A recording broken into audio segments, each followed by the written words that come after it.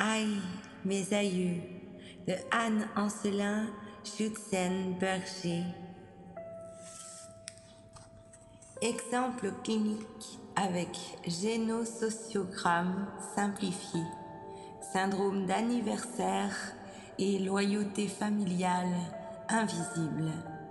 Je vais maintenant aborder quelques cas cliniques, exposer des éclairages que j'ai trouvés ou vérifiés dans ma pratique. Je me suis occupée depuis près d'une vingtaine d'années d'accompagner des gens gravement malades en phase terminale de cancer, de les aider à mieux vivre. J'ai découvert à mon grand étonnement des répétitions familiales dans la lignée de ces personnes souffrant de maladies graves et non génétiquement héréditaires. 1. Vouloir guérir, réédition complète 1991 avec génogramme. Tout se passe comme si quelque chose pointe et se transmet du grand-père au petit-fils ou la petite-fille. Tout au moins, on pourrait dire que tout se passe comme si quelque chose qui ne peut être oublié se transmettait au fils des générations, comme si l'on ne pouvait pas oublier un événement de vie, comme si l'on ne pouvait ni l'oublier ni en parler, mais le transmettre sans le dire. Charles, syndrome d'anniversaire et loyauté familiale invisible. Prenons un exemple clinique de malade atteint du cancer. J'en ai parlé dans mon livre Vouloir guérir et publié son génosociogramme simplifié. Je vais vous décrire le cas de cet homme qui s'appelle, disons, Charles, qui a un cancer des testicules. Il a 39 ans, il travaille, il se fait opérer, il va bien. Tout cela est normal et habituel, Six mois après, il fait une rechute avec des métastases au poumon. Ça arrive. Mais il refuse la chimiothérapie, il refuse tout traitement, son état empire et quelques mois après il va mourir si l'on n'intervient pas. On tente de le soigner mais il refuse. On essaye de voir avec lui quelle est la situation. Il est marié, il a une fille de 9 ans, il aime sa femme et son métier, c'est une vieille famille savoyarde. Il est gravement malade. On peut se demander pourquoi il a accepté l'opération, la chirurgie, et pourquoi il refuse la chimiothérapie ou tous les autres soins. On discute avec lui et ce qu'il dit de sa famille, on le retranscrit devant lui, avec lui, pour lui, en arbre généalogique commenté, un génosociogramme. On commence par lui, sa femme et leur fille, puis on monte son arbre généalogique. Son père a 70 ans, sa mère a 69 ans. Son père est bouché, il va bien. Là, si l'on remarque que son père est bouché et qu'il a accepté l'opération, on peut peut-être émettre l'hypothèse que son père maniant le couteau est très bien. Il croit à l'usage du couteau. Le couteau lui paraît un instrument familier il accepte d'être opéré chirurgicalement par un couteau à un scalpel. Mais alors pourquoi refuse-t-il ensuite de continuer à se soigner? On ne comprend toujours pas pourquoi il refuse la chimiothérapie. On remonte plus haut dans son arbre généalogique. Son grand-père est mort à 39 ans d'un coup de pied de chameau au testicule. On n'invente pas ces choses. Les coups de pied de chameau ne sont pas héréditaires. C'est la raison pour laquelle j'ai choisi ce cas, pour illustrer mon propos. On remarque donc qu'il s'apprête à mourir au même âge que son grand-père et qu'il est atteint dans son corps au même endroit. On pourrait dire que par hasard, il est atteint au testicule à l'endroit exact où son grand-père paternel a été atteint et dont il est mort. Loyauté invisible. On continue sa généalogie du côté de sa mère. Sa mère aussi a été orpheline jeune. Le père de sa mère, c'est-à-dire son grand-père maternel, est mort à 39 ans et demi, gazé, pendant la guerre, c'est-à-dire atteint au poumon. On constate là, et on va le constater très souvent sur d'autres cas cliniques, car j'ai une casothèque d'environ 300 ou 400 arbres généalogiques chez nos sociogrammes. Pour des raisons de simplification, nous n'avons mis qu'un trait pour le mariage. que lorsque les gens se marient, ce n'est pas tout à fait par hasard. Ils épousent souvent des conjoints ayant la même constellation que leur constellation familiale d'origine, ou ayant les mêmes maladies, ou les mêmes prénoms, ou les mêmes traumatismes d'enfance. Les deux familles du couple apparaissent comme en miroir. Reprenons de plus près l'histoire personnelle des parents de Charles. Sa mère était orpheline jeune, son père était orphelin jeune à 9 ans. Les deux grands-pères sont morts à 39 ans. Le grand-père maternel étant mort gazé, atteint au poumon. Cela ne nous paraît plus si étonnant de voir que Charles, quand ses poumons sont atteints, refuse la chimiothérapie qui, comme on sait, serait un dérivé du gaz moutarde que les Allemands utilisaient pendant la guerre de 1914-1918 à Ypres et à Verdun, dans les tranchées en 1915. Il est atteint aux mêmes endroits du corps que ses deux grands-pères, testicules et poumons. On pourrait presque dire qu'il marque, par une loyauté familiale inconsciente et invisible, en reprenant et en étendant la terminologie de Bossormeni Nagy. La mort des deux grands-pères, puisqu'au même âge que l'un et l'autre, il est atteint dans les deux organes dont ses deux grands-pères sont morts. On peut aussi remarquer que sa femme s'appelle Marie, comme sa sœur et sa grand-mère.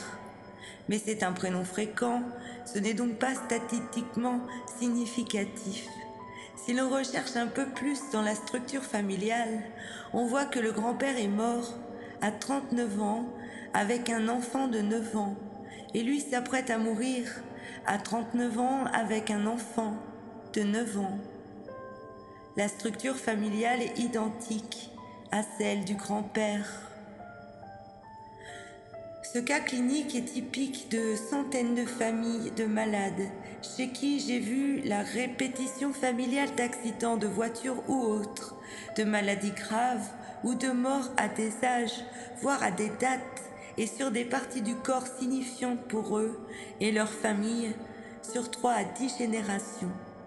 C'est ce que j'appelle maintenant un syndrome d'anniversaire, reprenant sans le savoir à l'époque et développant le concept de Joséphine Hilgard, avec des âges dates, périodes critiques ou années de fragilisation.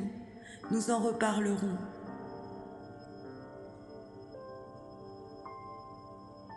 On peut se demander pourquoi le refus de se soigner après la rechute et à l'âge même de la mort de son grand-père. Est-ce une mort par hasard? Pourquoi une telle loyauté familiale invisible? Est-ce un cas aléatoire ou est-ce un cas clinique typique d'un très grand nombre d'autres? S'agit-il de nombreux cas cliniques remarqués par plusieurs d'entre nous? Rappelons que la psychanalyse est née de quelques cas cliniques bien observés bien décrits, devenus des modèles. Toutefois, nous savons maintenant, d'après les travaux statistiques de Joséphine Hilgard, sur toutes les entrées d'un hôpital américain, sur quatre années, que le concept de syndrome d'anniversaire, que cette répétition au double âge, âge du patient en difficulté et âge de l'enfant au moment de cette difficulté traumatique, est statistiquement significative. CF note 3, page 73 et annexe, ce qui renforce mais nos constatations cliniques de répétition. Ah, pour mon cas personnel, j'ai une grande pensée pour Pierre et Anthony, mon petit frère et son fils. Marc, répétition familiale d'accidents. Nous allons examiner maintenant l'hérédité psychologique des accidents de voiture ou des accidents d'avion et découvrir que c'est pareil. On retrouve des répétitions. Commençons par un exemple d'accident d'envol de deltaplane. Dans un groupe de psychodrames, je vois arriver un garçon jeune, charmant, dynamique, relax, ouvert, souriant, tout pour plaire. Faisant rapidement fonctionner un petit fauteuil roulant, Marc était arrivé tout seul en voiture. Ayant parcouru une distance de 600 km, il rentre en voiture seul. En arrivant en fauteuil roulant près de sa voiture, Il ouvre la portière, saute sur le siège avant et replie et rejette derrière le fauteuil. C'est non seulement sportif, mais tout à fait étonnant. Je remarque stupidement Monsieur, à vous voir aussi vif et gai, sans doute allez-vous bien et en avez-vous pour peu de temps en fauteuil roulant? Il me répond Détrompez-vous, madame, j'en ai pour la vie. Je suis paraplégique. J'ai eu un accident de deltaplane et je ne peux bouger que la tête et les bras. Comment est-ce arrivé? Si vous saviez, c'est un stupide. J'aime le sport. D'habitude, j'en fais en équipe. Cette fois, mon équipe de copains ne pouvait pas venir. J'ai été tout de même sur le terrain. Un inconnu m'a dit Si tu veux, je te tire. Il m'a tiré. Chaque fois, mon copain qui me tire me demande toujours si je suis bien attaché et je vérifie et je lui réponds oui. Celui-là ne m'a rien demandé. J'ai oublié de m'attacher. Le deltaplane est parti. Je suis tombée sur le dos. Je me suis abîmé le dos, je suis paraplégique. C'est stupide. J'ai beaucoup cherché, j'ai fait une psychanalyse, de la gestalt, de la bioénergie, et je n'ai pas compris comment et pourquoi j'avais pu faire cette chose stupide. Je dis, essayons de voir dans ce que j'appelle un génosociogramme. Je lui demande son âge. Il me répond 32 ans. Avez-vous des enfants? Non. Êtes-vous marié? Non.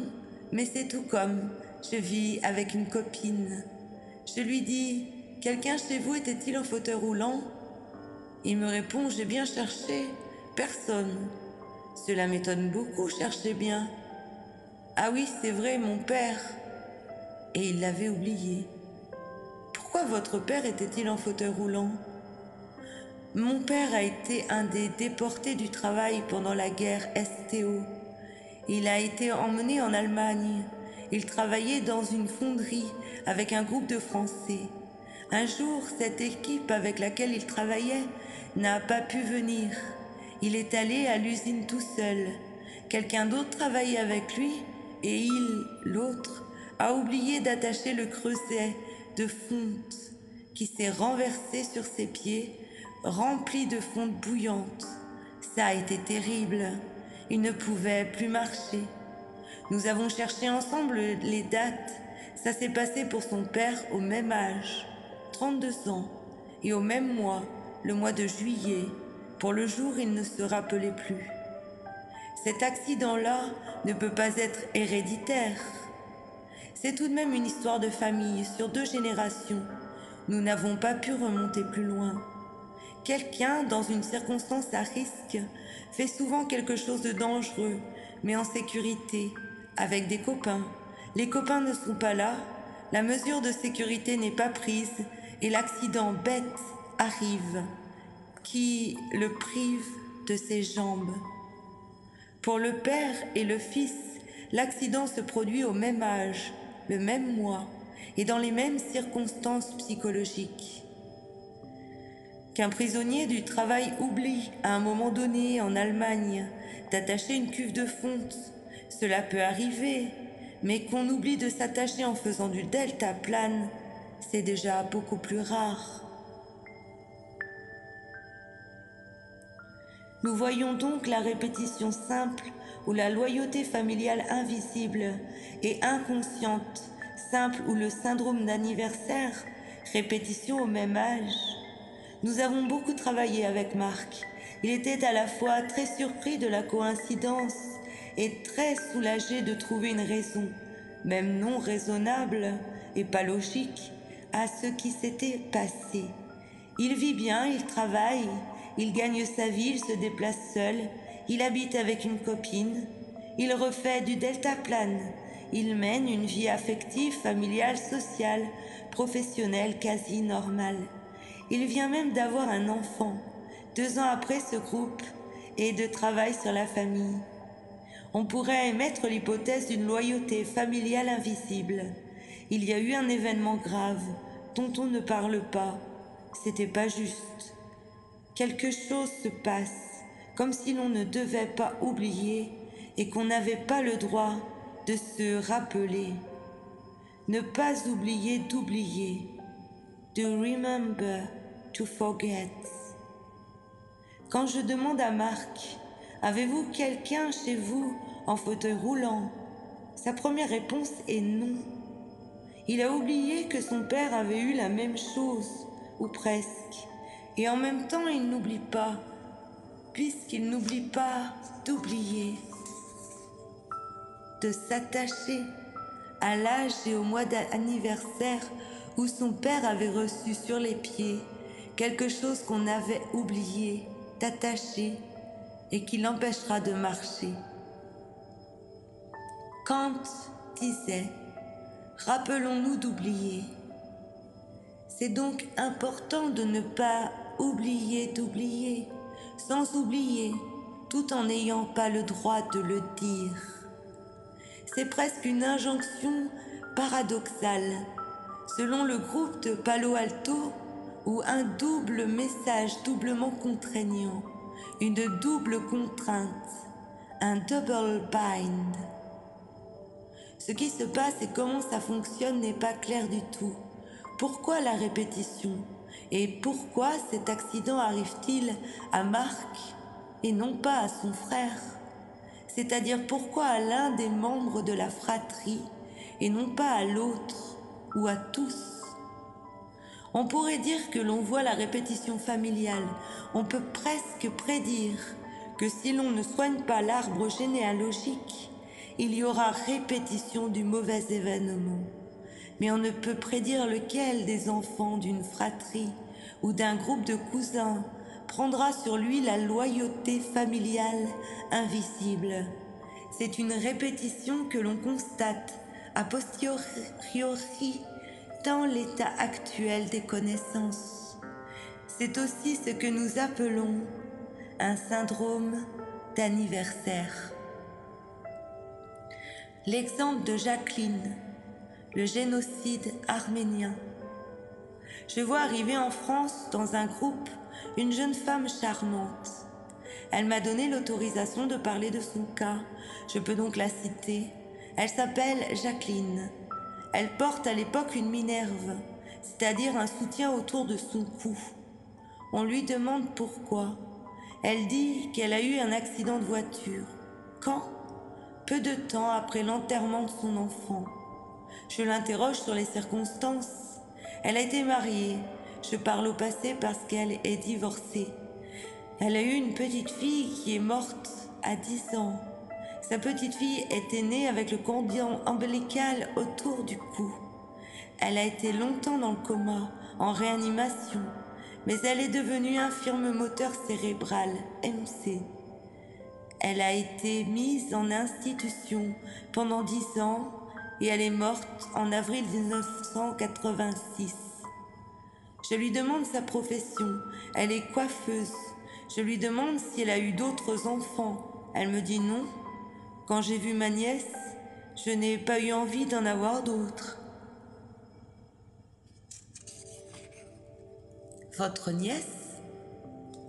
Oui, la fille de ma sœur. Sa sœur a eu une fille qui est née avec une hernie cervicale. Elle dit la cervelle qui dégouline de la tête. Chacune des sœurs a assisté à l'accouchement de l'autre. Chacune a eu un accouchement difficile. Elle n'a pas eu envie de recommencer. Je demande d'autres détails. Elles ne sont que deux filles et les deux ont un enfant à problème grave autour de la tête. Quand? À la naissance. Et les mariages? Les deux sœurs se sont mariées le même jour. Je commence à bâtir le génosociogramme. Le père est coiffeur, la mère est coiffeuse. Nous remontons plus haut à la grand-mère. Elle est coiffeuse. C'est donc une famille qui s'occupe de la tête depuis trois générations. Je demande leur lieu de naissance. Elles sont nées en France en montagne et son père à Beyrouth. Et les grands-parents, sa grand-mère est née en Turquie. Je dis tiens, en Turquie? Mais pourquoi êtes-vous venu en France? Nous sommes venus en France après le génocide arménien. C'était affreux. Les Turcs en ont massacré des milliers. Ma grand-mère a vu passer sur des pics les têtes de ses deux sœurs et de sa mère. Ça fait beaucoup de têtes. Il y a eu plus de 2 millions de morts. Je demande la date du génocide arménien. C'est le 24 avril 1915. La fille de Jacqueline est morte le 24 avril 1986. On peut discuter de l'hérédité du cancer, d'un terrain cardiaque ou cancéreux, mais les accidents de voiture, de deltaplane ou autres, les têtes coupées, ça ne passe pas dans les gènes, ce n'est pas physiquement génétique. Il faut reconnaître que cela fait un choc de découvrir que toutes ces femmes étaient coiffeuses. La grand-mère a vu des têtes coupées. Depuis, toutes les filles réparent et embellissent les têtes, sauf une, la sœur de Jacqueline, qui est anesthésiste réanimateur. Elle répare la mort, peut-être. Exprimée avec son corps. On a le sentiment que ces femmes françaises d'origine arménienne et leurs enfants expriment d'une façon bien étrange, avec leur corps et le corps de leurs enfants, ce qui s'est passé avec leur communauté et leur famille, comme s'il fallait quelque part à la fois réparer le génocide, rappeler le génocide, l'injustice, la mort injuste et prématurée. On n'a aucune explication, ni médicale, ni paramédicale, ni psychanalytique, ni en décodant des rêves. Aucun moyen d'expliquer pourquoi il y a eu des têtes coupées portées sur des pics. Et trois générations plus tard, deux petites filles nées avec un problème en rapport avec le cou et la tête. Et pourquoi la mère qui en parle a, lorsqu'elle en parle, une minerve autour du cou pour soutenir sa propre tête? Si l'on se penche sur sa vie, Jacqueline voulait être professeure de gymnastique. Mais la veille du concours, elle se foule la cheville. Acte manqué, névrose de classe, besoin d'échouer pour ensuite suivre la tradition familiale. Elle ne passera pas le concours, deviendra coiffeuse comme sa mère, sa grand-mère et son frère, et grossit de 10 kilos. Sa mère française est orpheline de mère jeune comme sa grand-mère turque. Les enfants, les filles surtout, ont été bercés d'histoires sur le terrorisme et les horreurs commises par les Turcs. On ne comprend pas, mais je constate plus je cherche, plus je fais des génosociogrammes, plus je vois apparaître des loyautés familiales invisibles et des répétitions, et des répétitions incroyables. On peut dire scientifiquement pur hasard, pure coïncidence. L'histoire de cette famille arménienne est frappante, peut-être la plus mystérieuse, parce qu'on ne comprend pas du tout comment la chose est possible. Mon collègue et ami Pierre Veil, professeur de psychologie à l'université de Belo Horizonte, ayant passé trois ans, trois mois, trois jours dans un ashram tibétain en France, pense qu'il faudrait parler de réincarnation éventuelle. Mais ce n'est ni ma voix ni mon raisonnement. Je constate, je recueille des cas cliniques et j'espère que les recherches interdisciplinaires de psychoneuroimmunologie et de la psychanalyse transgénérationnelle actuelle apporteront quelques réponses. Valérie et Roger. Y a-t-il une hérédité des accidents de voiture? Je vais évoquer maintenant l'hérédité psychologique éventuelle des accidents de voiture de par une loyauté familiale inconsciente et une sorte de syndrome d'anniversaire. Je fais de temps en temps dans les hôpitaux des séminaires de formation de lutte contre la maladie grave et le cancer, et aussi de préparation de soignants aux interventions chirurgicales. Je fais faire au personnel des exercices pratiques et pour qu'ils comprennent ce qu'est réellement un stress, je leur demande de raconter le dernier stress qui leur est arrivé et nous l'analysons ensemble. Une charmante infirmière du nord de la France dit Il ne m'est rien arrivé de grave, seulement un petit accident de voiture, et ce n'est vraiment pas un stress. Comment cet accident s'est-il passé? Je conduisais ma petite fille en voiture. Nous avons été heurtés par un chauffard qui d'ailleurs était en tort. Quel âge avez-vous? J'ai 28 ans et ma fille 4 ans. Avez-vous eu des accidents de voiture avant? Jamais. Cherchez bien. Oh, quand j'étais petite fille, j'ai eu un accident avec mon père. J'avais 4 ans, tiens. Au fait, c'est vrai, j'ai eu l'accident avec ma fille exactement au même endroit, sur la même route, quand ma fille avait l'âge que moi j'avais quand j'étais avec mon père. C'est drôle, je n'y avais jamais pensé, j'avais oublié. C'était une coïncidence d'âge et une coïncidence de circonstances, une répétition de double anniversaire et elle l'avait oublié. Prenons un autre exemple d'hérédité psychologique d'accident de voiture. Il s'agit d'un garçon qui s'appelle Roger. Il est médecin, il a 27 ans et il raconte un petit accident de voiture archi banal qui est arrivé à Paris au coin de l'avenue Mozart, un jour où il allait conduire son enfant à l'école pour la première fois. Il est marié, il a un enfant qui a 6 ans et en septembre il a eu un accident de voiture. Rien du tout, de la tôle froissée. Je lui demande, est-ce que dans votre famille quelqu'un ou vous avez eu un accident de voiture? Jamais. Cherchez bien. Ah Si, quand j'étais enfant. Puis je lui demande d'interroger son père et ses grands-parents. Il se renseigne. Quand il était enfant, à 6 ans, en allant à l'école pour la première fois avec son père, il a eu un accident de voiture le 1er octobre. Le père a eu un accident, lui aussi enfant, en allant à l'école pour la première fois avec son père, le grand-père. Le grand-père n'a pas eu d'accident en allant à l'école, car il n'y est pas allé. Son père venait d'être tué à Verdun sa famille était très pauvre.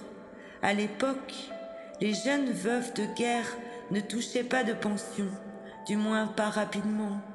Il est donc allé garder les vaches en louchant vers l'école. Depuis, toutes les rentrées scolaires à chaque génération ont été marquées par un accident de voiture sur le chemin de l'école. L'enfant, allant à l'école étant en voiture avec son père, lequel choisissait de l'accompagner? Remarquons qu'habituellement c'est plutôt la mère qui conduit son enfant pour la première fois à l'école. Pour la rentrée, tantôt en octobre, tantôt en septembre, à des dates différentes de rentrée scolaire.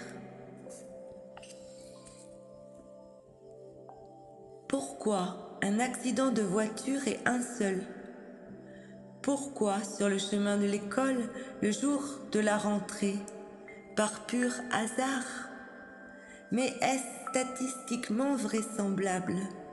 Par hasard réellement sur 4 à 5 générations? Ou par quelque chose issu d'une nécessité interne? Comment? Pourquoi? Qu'est-ce qui est agissant dans la mémoire? Qu'est-ce qu'on ne doit pas oublier? Parce que c'est marqué de quelque chose. La mort jeune, considérée comme injuste pendant la guerre. L'absence de pension de guerre de la mère pendant longtemps. La pauvreté d'un fils de héros tombé au champ d'honneur. La privation de la scolarité. L'indifférence du voisinage ou de la société ou de la famille à leur sort. et le ressentiment qu'on se transmet de génération à génération. La date de rentrée scolaire a varié en cinq générations, octobre ou septembre. Mais la période est la même, la rentrée scolaire, le premier jour, sur le chemin en allant à l'école. Et la même configuration, double anniversaire, et le même contexte, avec la même situation familiale, père conduisant son fils pour cette entrée dans la vie par l'école.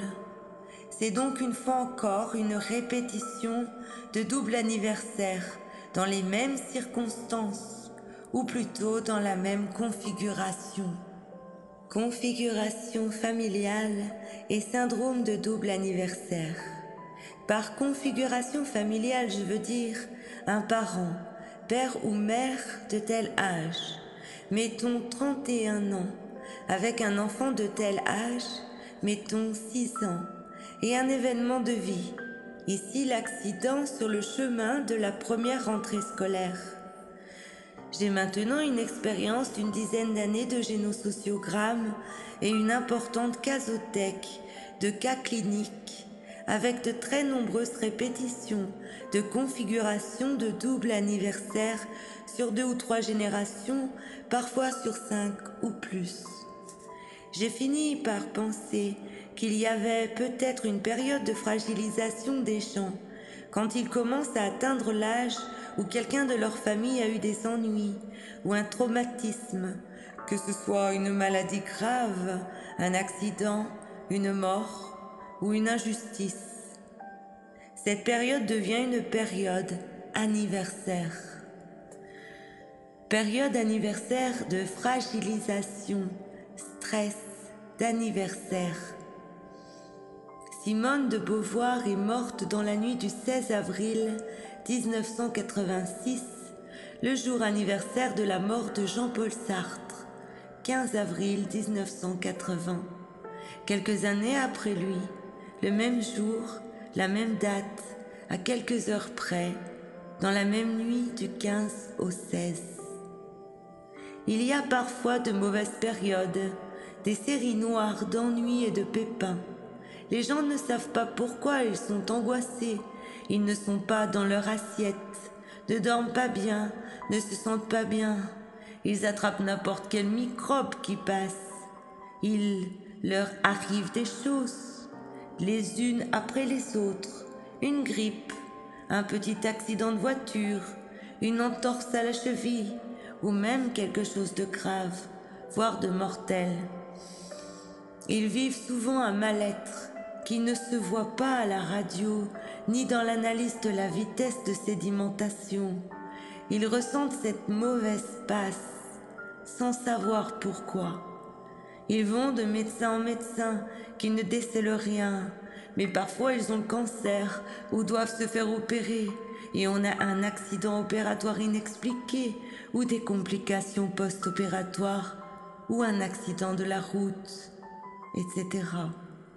Quand on fait un génosociogramme, c'est-à-dire un arbre généalogique sur lequel on marque les faits importants, les événements de vie, life events, les dates et les âges, on s'aperçoit que très souvent ce moment-là, cette période-là, cet âge-là, est comme par hasard celui de la mort de quelqu'un, d'une séparation, d'une rupture, d'une hospitalisation. En voici un exemple. Jeanne a eu très peur au cours d'un petit accident de voiture où elle a dû pousser sa voiture en panne dans un tunnel. Elle a eu peur d'être tuée, mais elle s'est accusée de négligence. Son tableau de bord lui signalait une défaillance à réparer, mais elle a négligé cet avertissement mécanique. Au cours d'un travail de recherche avec nous, il lui revient brusquement en mémoire qu'elle avait exactement l'âge de son père lorsqu'il a eu, lui aussi, un accident de voiture dont il est mort. Et c'était à la même date, le 6 décembre. Rappelons que le président JF Kennedy a choisi de ne pas mettre le toit par balle de sa voiture à Dallas le 22 novembre 1963 en ayant oublié et les menaces de mort et que le père de son grand-père, Patrick, était mort le 22 novembre 1858. Il avait oublié l'événement, mais sans oublier de prendre des risques. On pourrait peut-être émettre l'hypothèse que Jeanne aurait donc inconsciemment pris des risques qui auraient pu être mortels pour cet anniversaire de mort dont elle avait oublié la date. Les deux frères, le survivant et le mort. Je fais depuis dix ans, chaque année, un cours à l'université de Nice sur le non-dit, des émotions familiales, et je voulais faire une démonstration et montrer un génosociogramme au tableau. Un étudiant un peu vidé s'était proposé comme volontaire. Il avait 33 ans, appelons-le Bernard. Quand on fait le génosociogramme de Bernard, son arbre généalogique, on a mis en évidence que son frère aîné était mort. Je ne dirais pas s'était suicidé d'une overdose involontaire de médicaments à l'âge de 33 ans. Quand il a abordé l'année de ses 33 ans, l'âge qu'avait son frère Lucien quand il est mort, Bernard a eu toute une série de maladies et d'accidents, grippe, bronchite, pneumonie, accident de voiture, etc. Quand on a pu en parler et mettre en évidence les rapports éventuels avec la mort de son frère, ces symptômes ont disparu sans psychothérapie formelle, mais avec les effets thérapeutiques probables de la démonstration et des quelques entretiens qui suivirent. Bernard s'est aperçu qu'il avait en fait repris la vie de son frère telle qu'elle était. Son frère Lucien avait deux enfants, à trois ans d'intervalle. Lui avait deux enfants, espacés aussi de trois ans. Son frère habitait une grande maison. Il venait d'acheter une grande maison qui ressemblait à celle de son frère. Bernard s'était quasiment identifié à Lucien et attendait avec une grande angoisse l'anniversaire de ses 33 ans et la fin de sa vie. Il ne faisait plus de projets, il dormait mal, on ne comprenait pas pourquoi autour de lui ce qui lui arrivait, ni sa famille, ni son médecin, ni le psychothérapeute qu'il avait consulté. Nous avons commencé un travail ensemble, essayer de voir la programmation interne, inconsciente qu'il avait faite. Nous avons effleuré son enfance sage et studieuse dans un collège religieux catholique, l'importance que son frère, plus que lui, avait donné à la passion du Christ, sa mort à 33 ans et les lectures de l'imitation de Jésus-Christ. Nous l'avons revu dix ans après, en 1994. Il va bien. Son script de vie est de faire une déprogrammation et une reprogrammation. Avec mon aide, il a décidé qu'il n'était pas obligé de mourir comme son frère au même âge. Une fois qu'il a compris la répétition et décidé de ne pas rentrer dans la répétition par loyauté familiale invisible, il a repris du poil de la bête. Bernard s'est épanoui et affirmé. Il a alors complètement changé de vie. Il a eu un troisième enfant. Il en a été très content. Sa femme et lui envisagent même d'en avoir un quatrième. Il a changé de profession il a vendu sa grande maison et pris un appartement ailleurs.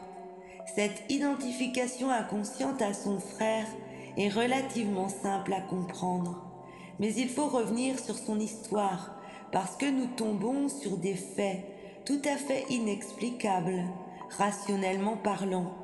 On pourrait parler de hasard, des faits inexplicables, mais répétitifs dans la famille. Mais est-ce un hasard ou une nécessité interne?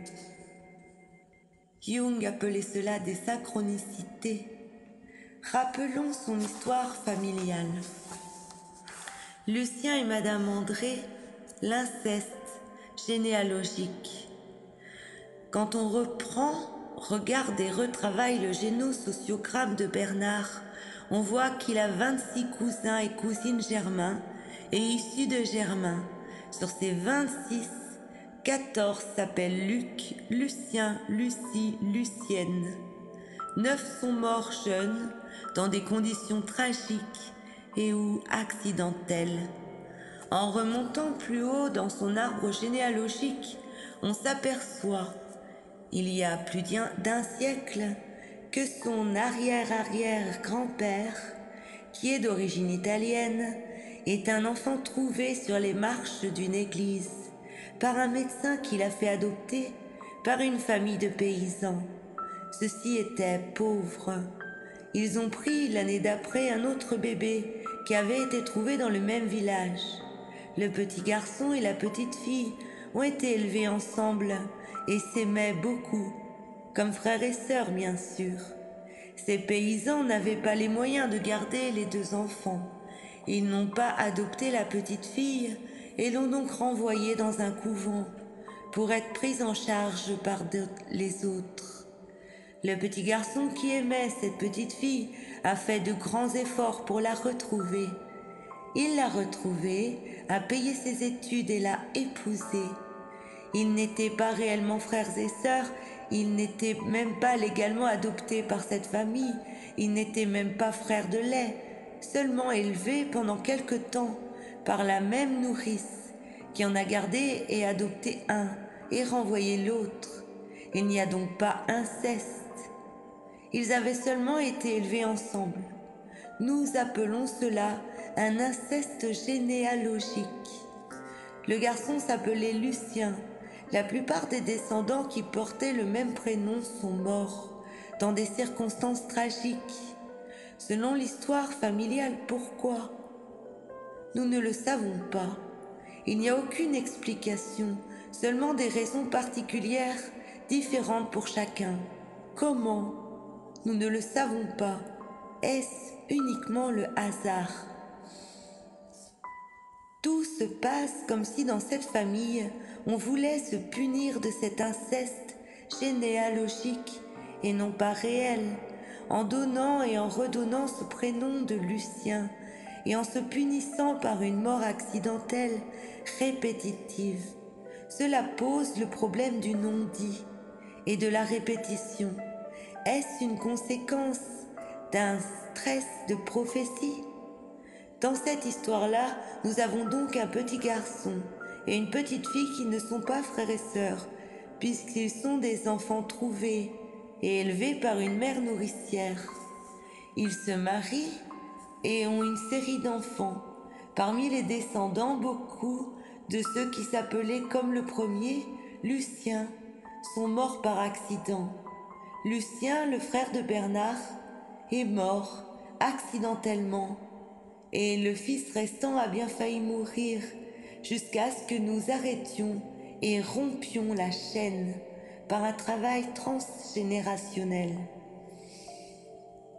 Que ce soit une réalisation automatique de prédiction, inconsciente de loyauté invisible, de stress de prophétie, suite à des histoires racontées en famille, une répétition, une engrammation psychologique, un terrain, c'est dans la tête plutôt que dans les chaînes que ça se passe.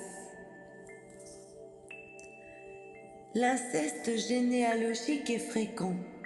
Voici une jeune femme que nous allons prénommer Monique. Monique André, fille d'Henri André. Elle épouse André Dupont. On l'appelle dans son village Madame André, de façon à la distinguer de ses belles-mères et belles-sœurs, mais donc de la même façon qu'on appelait sa mère. On l'appelle Madame André, comme si elle était l'épouse de son père. Ce n'est pas un inceste, même pas l'attirance vers un homonyme. Ce n'est pas interdit par la loi, mais cela pose une série de problèmes qui vont devenir graves. Cancer, suicide, dépression. Une famille de ce genre, les Martin Leroux, a été décrite par Didier Dumas dans L'ange et le fantôme. Deux sœurs épousent deux homonymes et une sœur fait ce que l'on appelle un inceste généalogique. Cela s'est très mal terminé. Il y a une série de morts de maris et d'enfants de suicide, etc. Les deux jeunes Madame Ravanel, l'inceste généalogique nous clarifié. Reprenons le dessin, génogramme et l'analyse qu'a faite Catherine Messnard, une de nos étudiantes de l'Université de Nice, de ce cas d'inceste généalogique cité par Didier Dumas. Alphonse Martin épousa vers le milieu du XXe siècle Victorine Roussier, qui lui donna trois filles, Marie, Augustine et Joséphine. Les deux derniers enfants portent des prénoms masculins féminisés, dans la mesure où Alphonse Martin attendait des garçons. Joséphine Martin prit pour époux un homme prénommé Martin. Elle s'appela alors Madame Martin Leroux, premier inceste généalogique. Ménard 1986, page 115-116, mémoire de maîtrise. Marie Martin, sa sœur aînée, épouse un homme qui s'appelle lui aussi Leroux, mais Émile est son prénom. Second inceste généalogique, ces deux hommes n'ayant aucun lien de parenté entre eux. Nous voyons comment Joséphine et Marie, en renonçant au nom de leur père, se retrouvent mariés ensemble. Si la reprise du nom de Martin par Joséphine introduit une confusion des places généalogiques, le mariage imaginaire entre ces deux sœurs, en déniant la fonction du nom du père, dénie surtout celle de la féminité. Après avoir donné sept enfants à Joséphine, Martin Leroux se suicide par pendaison. Joséphine, veuve, vit en concubinage quelque temps. Dès qu'elle est enceinte, elle se sépare de son concubin, qui disparaît du roman familial. L'époux de Marie va également mourir d'une tuberculose. Elle se remariera avec Auguste, sachant que la sœur de Marie s'appelait Augustine. On pourrait émettre l'hypothèse d'un doublement de son inceste généalogique. Son second mari se suicidera après lui avoir donné deux enfants. Lucie, l'unique enfant du couple Marie-Émile, avait six mois lorsque son père décéda. Lucie Leroux, la grand-mère de Jean-Michel, va épouser son cousin Germain, Edmond Leroux, lui-même veuf d'un premier mariage. Sa femme était décédée d'une tuberculose. Troisième inceste généalogique. Leur petit-fils Jean-Michel est un enfant autiste qui a cessé de parler à trois ans et s'est coupé du monde.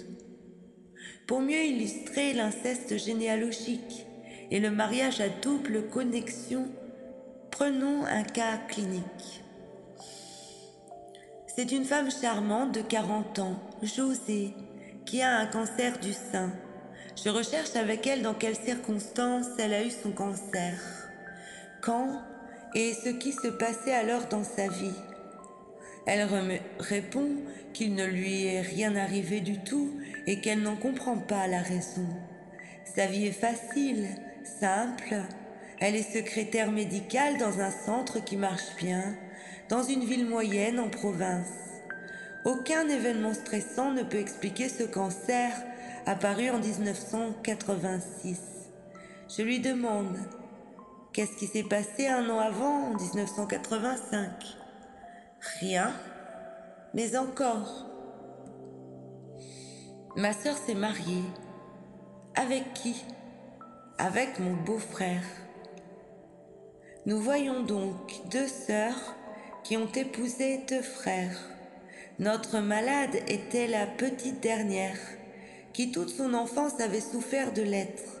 Elle n'avait pas de chambre à elle, elle était venue un petit peu par accident. On avait donc mis un troisième lit dans la chambre de ses deux sœurs. Elle portait les vêtements de ses grandes sœurs et n'avait rien à elle, jusqu'à ce qu'elle se marie. Elle était devenue, disons, la jeune Madame Ravanel. Elle s'était épanouie, avait beaucoup embelli. Comme elle est brave et gentille, elle recevait de ses frères, ses sœurs, ses beaux-frères, ses belles-sœurs. Et voici qu'une de ses sœurs, Jacqueline, épouse son beau-frère Jacques et devient aussi la jeune Madame Ravanel. José se retrouve à la fois dépossédé de son nouveau nom de famille et de sa place au soleil. Il y avait une nouvelle jeune Madame Ravanel, donc peut-être une de trop.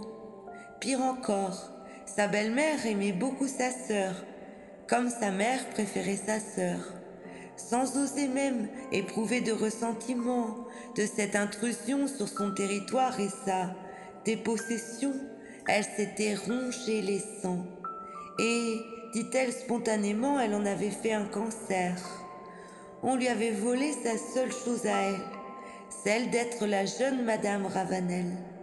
Or là, il y en a eu deux, et ça ne collait plus pour elle. Elle se sentait dépossédée, à nouveau de son identité et de son territoire par sa sœur. C'était devenu intolérable. De plus, elle se sentait sans défense impuissante dans cette situation et sans espoir, hopeless and helpless, comme le décrivent les spécialistes. C'était donc une perte majeure d'identité et de situation, une perte d'objet d'amour, une deuxième fois, réveillant le traumatisme et la blessure d'une perte majeure d'objet d'amour dans l'enfance, perte qui n'a pu être ni parlée, ni pleurée, dont le deuil n'a pu être fait, situation que l'on rencontre souvent dans l'apparition du cancer, comme l'a noté déjà le psychologue américain Lawrence Lishan. Le psychologue américain Lawrence Lishan parle de perte d'objets d'amour dans la vie des malades, une deuxième perte qui réveille le traumatisme et la blessure d'une perte majeure d'un objet d'amour dans l'enfance, qui n'a pu être ni parlé, ni pleuré, et dont le deuil n'a jamais été fait, et qu'on rencontre souvent dans le cancer, surtout chez des gens réservés. You can fight for your life. Vous pouvez lutter pour votre vie.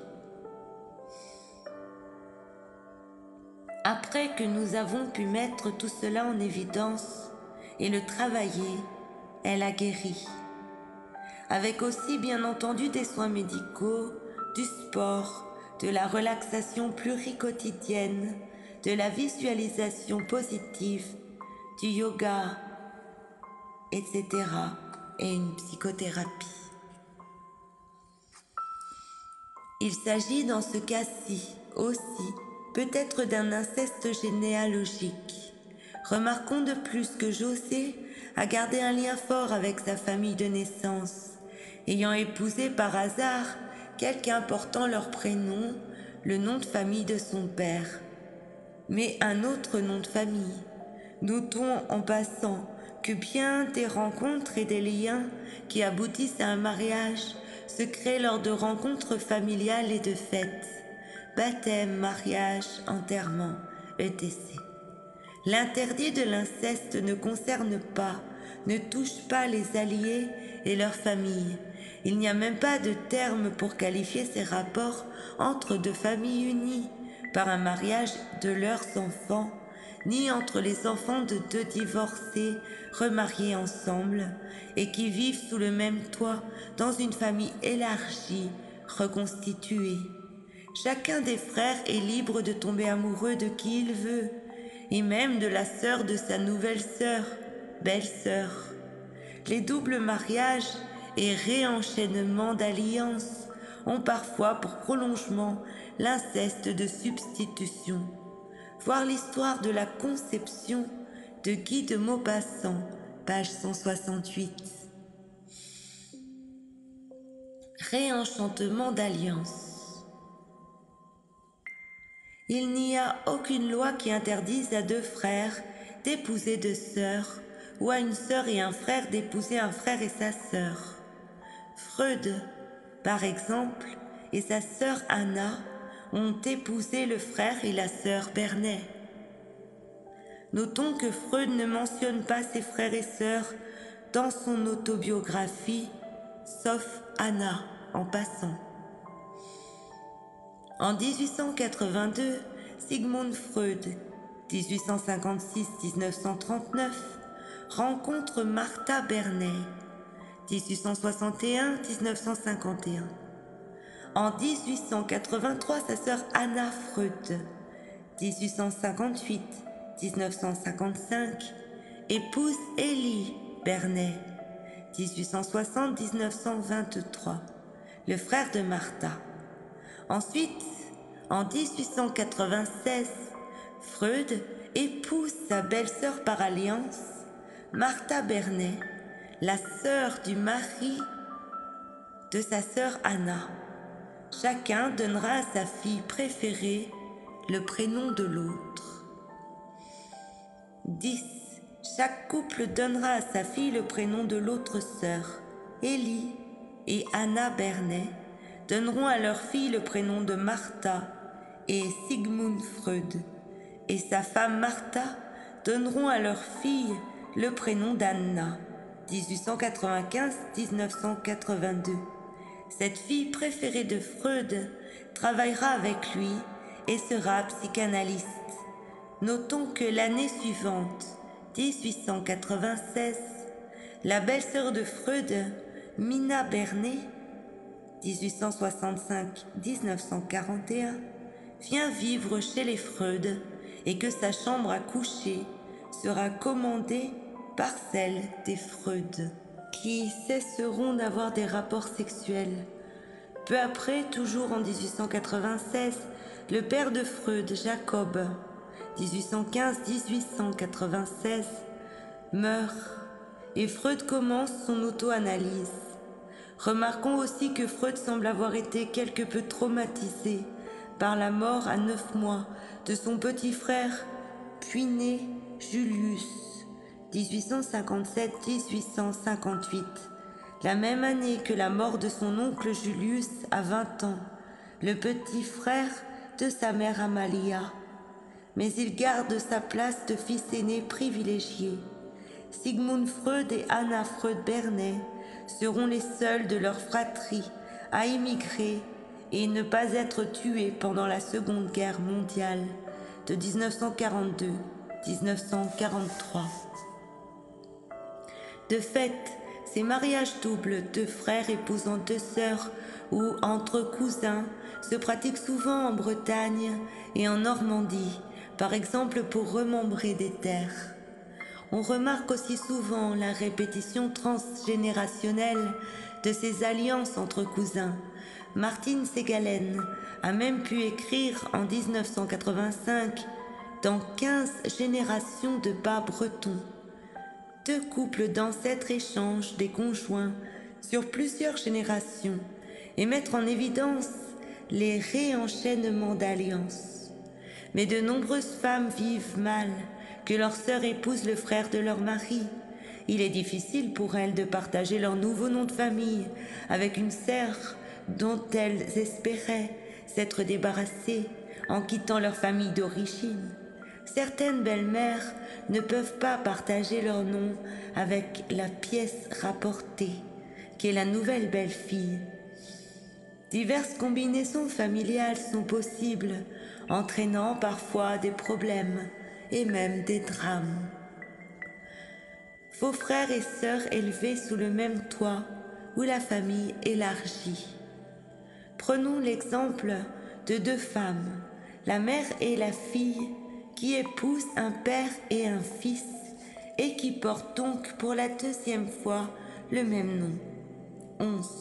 J'ai raconté dans mon précis de psychodrame le cas de Gisèle, psychotique interné à la suite de sa tentative de meurtre sur sa mère, la mère et la fille ayant par ailleurs épousé le père et le fils, donc portant le même nom et habitant la même maison. En fait, sa mère s'étant remariée avec un veuf, Gisèle est élevée sous le même toit qu'un adolescent, le fils de son beau-père. Les parents vont les élever ensemble, en quasi frères et sœurs, d'une famille reconstituée. Mais en fait, ils vont se fréquenter et s'épouser. Après la naissance de son enfant, Gisèle va avoir une décompensation psychotique et être internée.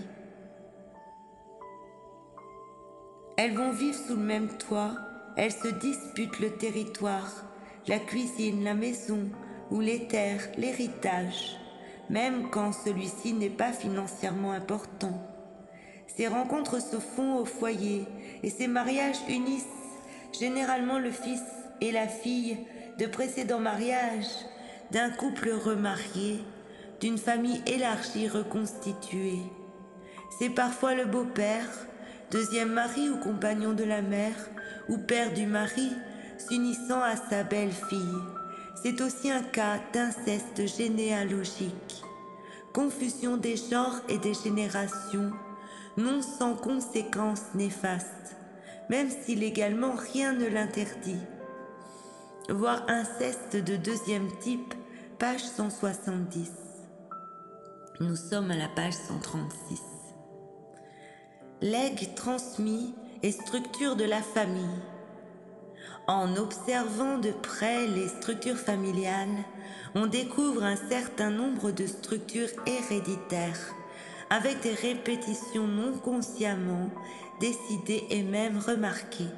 Ce qui semble héréditaire par hasard, sans que ce soit clairement défini, peut être par exemple le nombre d'enfants, l'espacement entre les enfants, voire le nombre de mariages, le nombre de fausses couches spontanées et d'avortements IVG. Il y a des familles monogames, des familles à un seul mariage, à plusieurs mariages, c'est remariage. Il y a des familles à un, deux, trois ou quatre mariages. Je n'ai jamais rencontré de famille à cinq remariages, mais on en trouve aux États-Unis en particulier. Il y a des familles à divorce ou à veuvage. Il y a des familles à suicide, à mort brutale, à enfants naturels, adultérins ou uniquement légitimes. Il y a des familles cigales et des familles fourmis, montant ou descendant l'échelle sociale. Tout se passe comme si la composition de la structure de la famille était répétitive et héréditaire, psychologiquement héréditaire, comme s'il y avait une règle non écrite que chacun suit dans son esprit comme dans son corps. Certains legs transmis, certains héritages peuvent être des dons, tels des dons musicaux de la famille Bach, Jean-Sébastien, Jean Chrétien. D'autres héritent de qualité, d'endurance, d'adresse, de disposition sportive ou artisanale, de savoir-faire technique ou d'adresse manuelle, etc. Mais dans ces structures héréditaires apparaissent parfois des choses difficiles à comprendre. 12. Hérédité plus psychologique ou mentale que biologique peut être une sorte d'engramme, c'est-à-dire une trace laissée en mémoire par tout événement dans le fonctionnement bioélectrique du cerveau. Les de Mortelac, des morts d'enfants jeunes sur plusieurs générations. Voici l'histoire, disons, des Mortelac, une vieille famille connue dont les origines se retracent jusqu'aux croisades.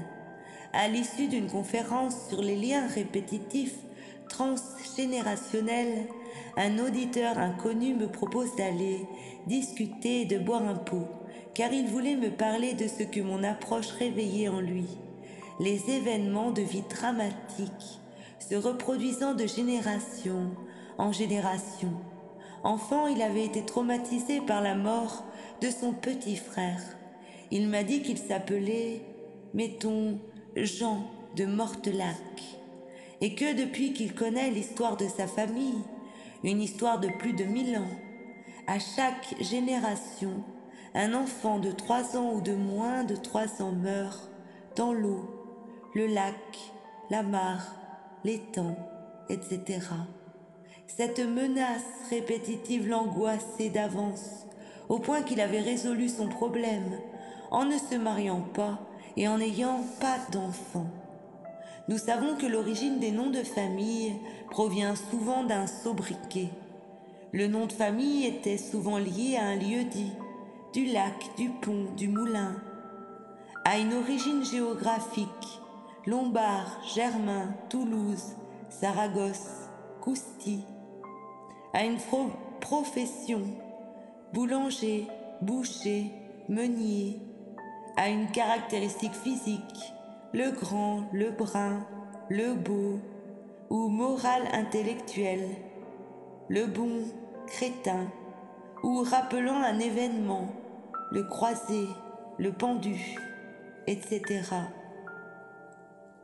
Pour les mortelacs, leur nom indique donc qu'il y a eu très probablement autrefois une mort brutale marquant un adulte ou un enfant serait mort dans l'eau, dans un étang, un lac, une mare, une grosse flaque, une rivière. Ceci expliquerait l'origine du sobriquet ou du nom de famille. Mais la répétition du fait que se passe-t-il pour qu'il y ait encore maintenant une mort d'enfant jeune de Mortelac à chaque génération? Je n'ai pas travaillé sur leur histoire familiale, ni fait leur arbre généalogique, ni leur génosociogramme. J'ai juste eu un long entretien avec un homme de la famille de Mortelac, et ensuite avec une de ses petites cousines nées de Mortelac qui avait elle aussi perdu et un petit frère et un enfant en bas âge accidentellement. Sa mère, elle aussi, avait perdu un frère et ne lui avait rien dit pour son bien et pour la protéger. Notons tout de même que chez les morts d'enfants en bas âge était fréquente autrefois, même chez les rois. Louis XIV a perdu des enfants jeunes Près de la moitié des nourrissons n'atteignaient pas l'âge de un an autrefois, et même au XIVe siècle. Mais dans cette famille de Mortelac, c'est un enfant qui marche déjà et qui meurt dans l'eau au XIIIe siècle sous Louis XIV, en 1990 et toujours entre-temps. Ce n'est pas qu'il y ait une malédiction sur cette famille, je ne crois pas aux malédictions. Pourtant, on serait tenté de rechercher une explication, une cause. C'était peut-être une prédiction inconsciente, ou une réparation, ou un rappel, ou un repérage, ou le pointage d'un fait indicible et même impensé. Prédiction et malédiction dans l'histoire. En ce qui concerne la prédiction de malédiction de réalisation des prédictions, on en trouve même des exemples dans l'histoire de France. Le roi Philippe le Bel, 1285-1314, avait fait supprimer l'ordre des Templiers en 1312 et condamné à mort le grand maître de l'ordre des Templiers, Jacques de Molay. Sur le bûcher, le 18 mars 1314, ce dernier crie avant de mourir Pape Clément, Chevalier Guillaume, Roi Philippe, avant un an, je vous cite à paraître au tribunal de Dieu pour y recevoir votre juste châtiment. Maudit, maudit, tous maudits jusqu'à la treizième génération de vos races. Et pendant les mois qui ont suivi au cours de l'année 1314, les trois irresponsable de son jugement injuste ont payé. Le roi de France est mort, le pape Clément est mort, le cardinal qui présidait le tribunal est mort dans l'année, puis le fils aîné de Philippe le Bel, Louis X, probablement assassiné 18 mois après. La lignée des rois de France s'est éteinte en très peu de temps. C'était la fin des Capétiens directs. Ce sont leurs cousins valois qui ont succédé aux Capétiens en 1328, puis leurs cousins Bourbon, Henri IV, 1589-1610, assassinés, Louis XIII, Louis XIV, Louis XV, Louis XVI, guillotinés. Rappelons que Louis XVI est sorti de la conciergerie de la prison du Temple par la même porte que Jacques de Molay, 467 ans plus tôt, pour aller à son supplice, et que c'était la treizième génération. Peut-on parler de justice divine? On ose penser à une malédiction, le mal prononcé solennellement, agissant sur le devenir des êtres, et pourtant la malédiction a été prononcée par Jacques de Molay sur le bûcher. Les faits sont là. Le bûcher, la malédiction, la mort du roi, la treizième génération. Est-ce pur hasard Coïncidence Synchronie décalée dans le temps Réalisation automatique des prédictions? Les cartésiens diraient que c'est, bien sûr, par pur hasard. Louis XVI la treizième génération de rois de France depuis Philippe le Bel. Prenons un autre fait historique de la même famille des rois de France. Pur hasard, bien sûr, que deux siècles plus tard, pendant l'année du bicentenaire de la Révolution française, 1989, à 52 ans, le petit cousin de Louis XVI, le prince Alphonse de Bourbon, duc d'Anjou, président du comité des Jeux olympiques d'hiver, s'est fait décapiter dans un champ par un fil de fer oublié en reconnaissant la piste de ski olympique de Beaver Creek le 30 janvier 1989. Il a été touché mortellement à la tête au cours du même mois anniversaire, à quelques jours près, que son ancêtre, Louis XVI, le 21 janvier 1793. Les titres de la grande presse parisienne, le détail est faux, le prince est mort d'une fracture du crâne, même si la mort a été causée par le fil de fer qui l'a touché. Pour les légitimistes, il est vrai, le vrai roi de France, Louis XX, et présidait récemment des fêtes du millénaire capétien. Thierry Ardisson, Louis XX, voire aussi la grande presse. Il y aura foule le 9 février 1989 à midi dans la basilique royale de Saint-Denis pour la grand-messe du requiem du duc d'Anjou, cousin de Juan Carlos d'Espagne et petit cousin de Louis XVI. Rappelons qu'Alphonse de Bourbon avait un mois avant, le 21 décembre 1988, gagné le procès que lui avait intenté son cousin Henri d'Orléans concernant le droit d'héritage. Il est donc reconnu comme étant un vrai Bourbon, potentiellement prétendant au trône de France.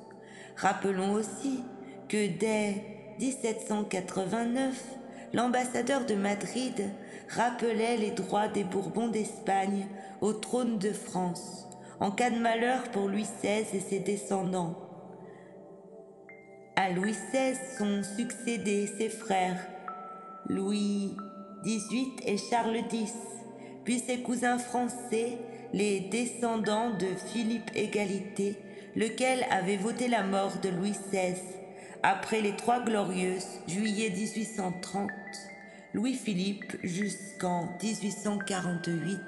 Effet d'une parole forte, la malédiction de Caton, Telenda Carthago Est. Sans croire aux malédictions, on peut s'interroger sur l'effet d'une parole forte accompagnant une émotion forte et surtout faite par une figure d'autorité, prêtre, guérisseur, parent, professeur. 14. C'est à cause de l'incidence inconsciente de ce qui est dit ou prédit que je me méfie de l'astrologie, cartomancie, lecture des lignes de la main, voyance. Car qui sait si le malheur prévu et qui arrive parfois ne provient pas justement de la parole dite, qui installe le néfaste la mort, l'accident dans l'esprit des gens, et le rend donc possible ou prévisible, donc change le corps, l'espace, le temps, l'avenir. Cela se rapprocherait de la réalisation automatique des prédictions et créerait un stress de prophétie. C'est peut-être ce mauvais œil que l'on retrouve dans de nombreux contes, légendes, histoires de sorcières et de mauvais sorts. Nous pouvons nous poser des questions sur ce qui s'est passé au sujet des Capétiens, à la fin des Capétiens et à la réalisation automatique des prédictions, sur les acteurs sociaux et leurs descendants. Mais pour le moment, ce ne sont que des constatations et des questions sans réponse. Mais il peut y avoir un stress de prophétie négative, comme il peut y avoir une aide par une prédiction positive et un regard positif. Effet Pygmalion. Telenda, la colère du père et le sexe de l'enfant.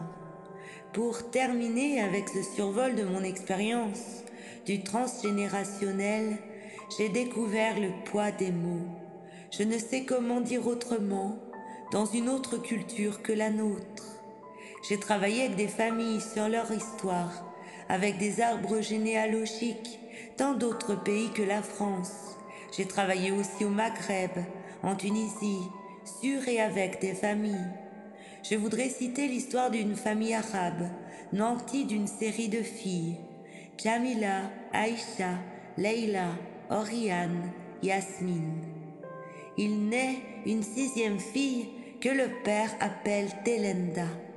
Et l'année suivante, le fils va venir. Mohamed, ensuite un deuxième fils, Ali. Ceci se passe dans la région de Carthage. J'ai plusieurs fois retrouvé cette configuration d'une succession de filles avec Delenda avant le premier fils, juste après une longue série de filles. Que veut dire Delenda? Delenda n'est pas un prénom arabe, mais un mot latin. Cette expression vient de l'imprécation de Caton l'Ancien, Delenda Carthago est. Carthage doit être détruite. Depuis 2000 ans, dans la région de Carthage, quand un paysan ou un citadin en a ras le bol d'avoir des séries de filles, il nomme la dernière née Delenda, dans un grand élan de colère. C'est la race des filles qui sera détruite. Il n'arrive rien de mal ni à Delenda, ni à sa descendance, ni aux autres filles, mais la série des filles s'arrête et des garçons naissent. C'est une tradition qui dure depuis 2000 ans dans cette région. Est-ce le hasard? Il n'y a aucune explication. On pourrait dire c'est de la superstition. Mais comment marche-t-elle la superstition pour déterminer le sexe de l'enfant, la force de la parole?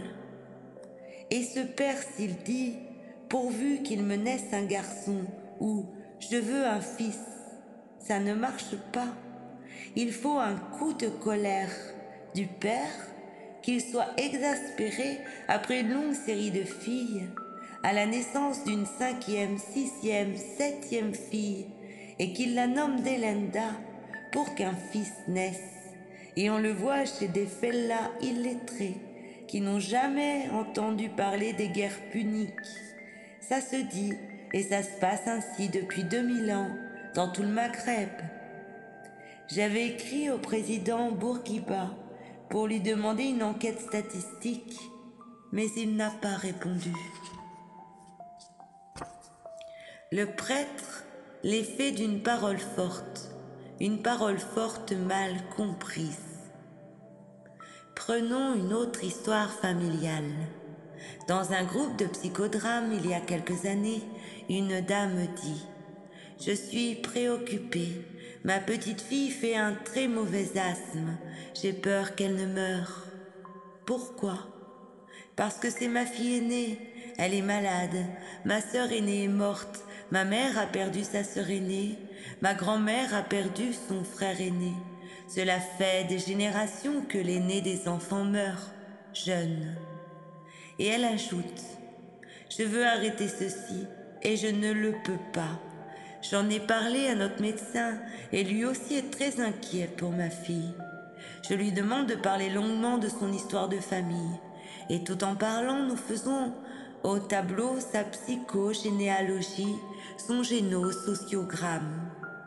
Nous travaillons avec elle sur ce qui s'est passé sur plusieurs générations et nous recherchons patiemment des événements marquants de la vie des arrières, arrière-grands-parents, en remontant au fil du temps sous la Troisième République, l'Empire, la Révolution. Cela fait sept à huit générations sur deux siècles. Ce sont des gens de la terre qui ont peu bougé, des paysans de Savoie, qui, pendant la terreur et la révolution, ont caché un prêtre le prêtre est sorti de sa cage après la terreur. Il les a remerciés, il les a bénis et il leur a dit, en remerciement, l'aîné de chaque génération veillera sur vous. Depuis, par hasard, depuis deux siècles, l'aîné de chaque génération serait devenu un petit ange au ciel qui aurait veillé sur eux. Et cette femme vivait ses décès d'enfants à chaque génération avec angoisse, comme une sorte de malédiction familiale incompréhensible.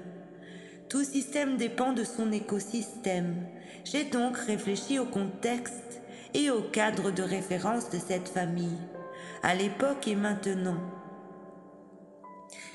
J'ai longuement parlé avec cette dame et je lui ai fait comprendre qu'on peut entendre les choses différemment selon son cadre de référence, qu'il y a une différence entre une bénédiction et une malédiction.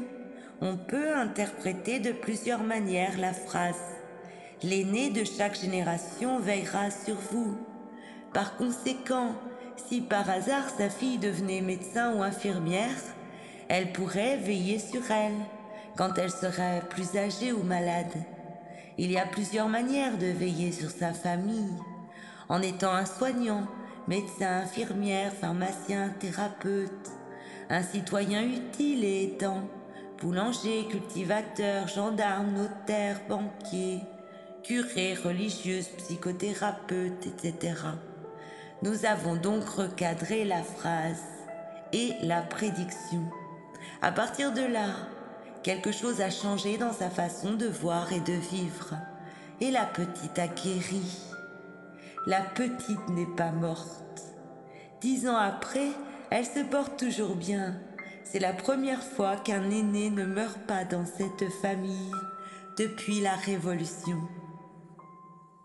Cette répétition d'événements à chaque génération sur 200 ans, comment, pourquoi, que s'est-il passé où cela s'inscrit-il dans l'inconscient personnel et familial Comment la transmission se fait-elle Est-ce une sorte d'engramme Quel sens cela a-t-il Comment arrêter la chaîne Pourquoi et comment une parole thérapeutique l'arrête-t-elle? Que se passe-t-il dans cette famille pour que l'aîné des enfants meure? Ce sont des gens sérieux, responsables. Ils vivent dans de bonnes conditions, ils font attention à leurs enfants. Que se passe-t-il pour que, de la Révolution à nos jours, soit sur cette génération, il y ait eu un acte manqué? Et qu'un enfant, l'aîné, tombe malade ou se blesse et meurt. Et pourquoi lorsqu'on éclaire et recadre autrement la phrase, le dit, l'injonction, cela ne se passe-t-il plus? C'est comme si quelque part on n'avait pas le droit de savoir et d'en parler, et en même temps comme si l'on n'avait pas le droit d'oublier, et que tout cela, il fallait le faire savoir, mais ne pas le dire explicitement, ni même savoir qu'on l'on sait et que l'on transmet, une de double contrainte diaboliquement contraignante, double double bind, un double nœud gordien. Nous retrouvons ici une caractéristique du secret. Guy Auslaus a remarqué comme nous qu'il est interdit de savoir et il est interdit de ne pas savoir. Cesse Oslowski, 1980. Les secrets de famille. In Annales de psychothérapie. Changement systémique en thérapie familiale. Paris, page 62-80. Tout se passe comme si l'inconscient a bonne mémoire et tient à rappeler les faits et à marquer le coup, sans le dire ni l'expliquer. Mais la manière dont l'inconscient pointe des événements dépend aussi de la manière dont la famille interprète et comprend ce qui se passe et y réagit. Un texte, une vie, se voit, se lit, s'écoute, s'interprète dans un contexte, dans un cadre donné. On peut prendre quelque chose dans un contexte et le mettre dans un autre contexte ou un autre cadre et la même phrase s'éclaire autrement. On peut recadrer un événement de malédiction. Cela peut devenir une bénédiction. On voit la même chose d'ailleurs face au cancer terminal. D'insurmontable, une situation peut devenir difficilement surmontable voire difficile mais passionnante à essayer de surmonter. Concept de Dyness, comme l'attestent les survivants des camps de concentration. Ce qui est étonnant, c'est de constater les génosociogrammes, ces répétitions qu'on voit de génération en génération, comme si quelque chose parlait. Ça parle sur l'autre scène, comme disait Freud. Et Grodek, mais le fil rouge tiré nous amène plus loin en coulisses. Conrad disait déjà que tout se passe comme si une immense, puissante et invisible main, prête à s'abattre sur la fourmilière de notre globe, a saisi chacun de nous par les épaules, a entrechoqué nos têtes et a précipité dans des directions inattendues et vers d'incontournables buts, nos forces inconscientes, comme si une extraordinaire force nous conduisait vers notre destin. De mémoire dans Typhoon, cité par Monique Lassalle.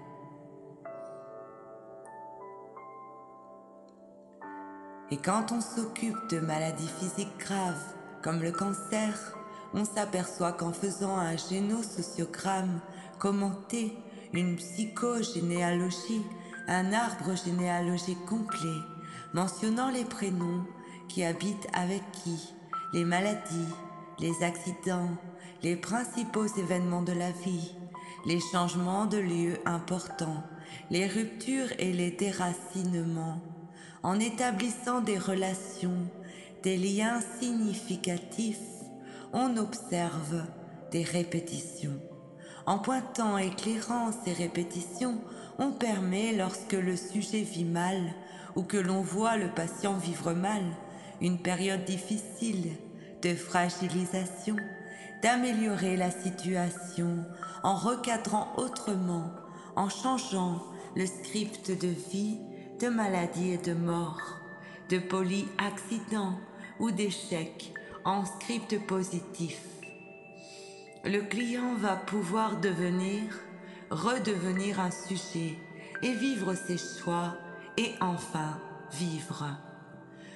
Recadrer la maladie gravissime dans un ensemble familial répétitif lui donne un autre sens et change souvent le déroulement de la maladie.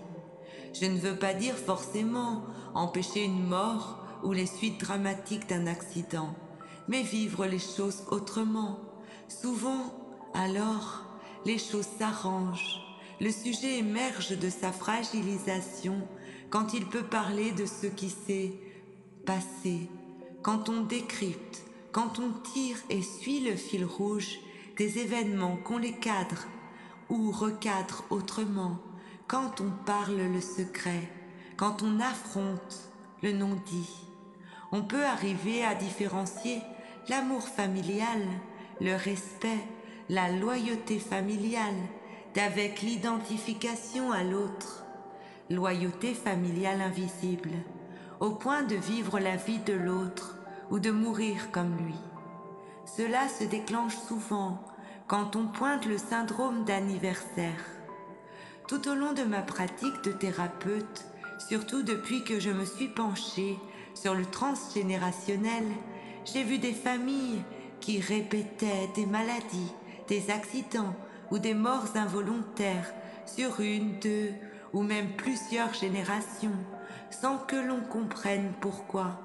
Mais on le constate cliniquement, comme une marque sur le corps et une encoche sur le temps. J'ai constaté aussi que ce travail de mise en évidence des liens et des répétitions de décodage donnait un sens aux événements et donnait prise sur eux.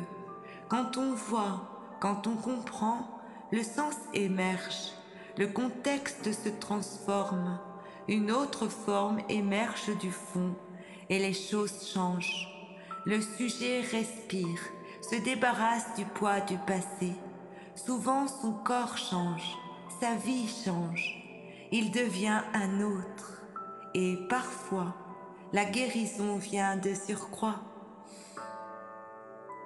Van Gogh, Dali et Freud, l'enfant de remplacement et l'enfant réparateur. On observe aussi des faits inexplicables lorsqu'il s'agit de ce qu'on appelle l'enfant de remplacement. Un enfant conçu pour remplacer un petit enfant ou un parent mort récemment et qui souvent porte le prénom du mort et où naît pour l'anniversaire de sa mort sans que le deuil soit fait. Lorsque ce mort est occulté, le deuil non fait, le parcours de vie de l'enfant de remplacement n'est pas des plus heureux.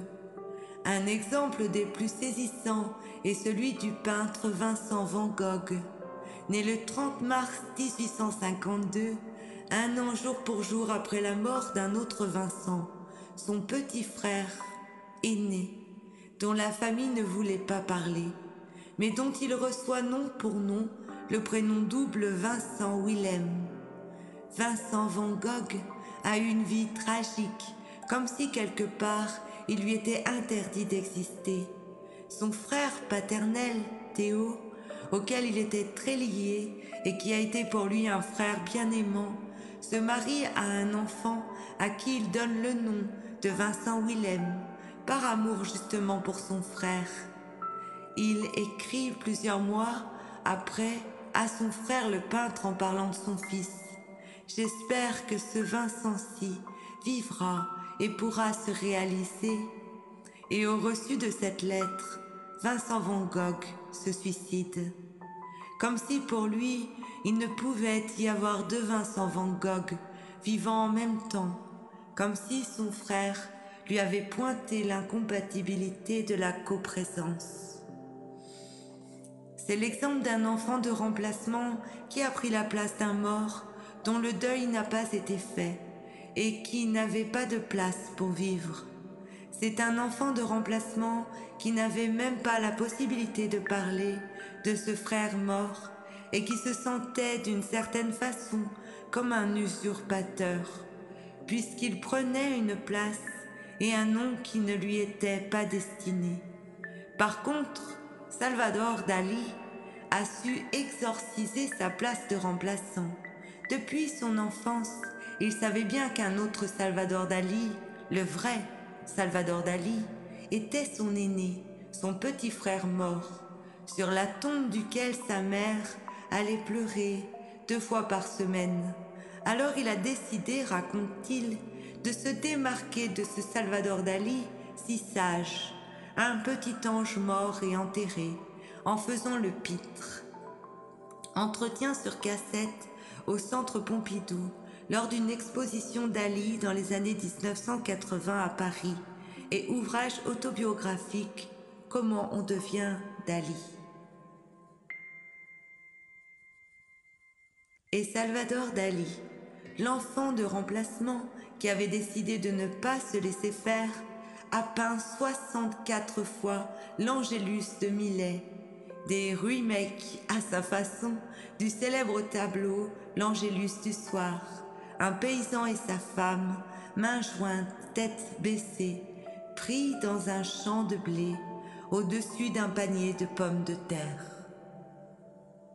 Hmm.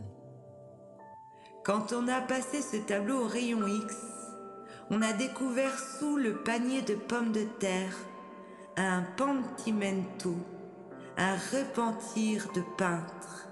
Il y avait le cercueil d'un jeune enfant.